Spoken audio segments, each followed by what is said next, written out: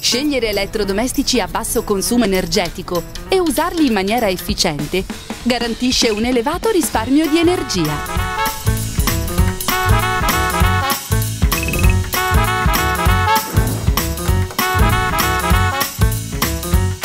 Ricordarsi poi di non lasciare in stand-by le tv, i computer e le altre apparecchiature elettriche ed elettroniche evita uno spreco inutile.